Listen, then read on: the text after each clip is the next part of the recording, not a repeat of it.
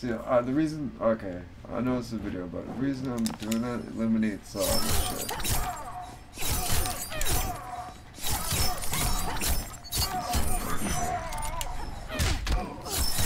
It's much more than getting 37.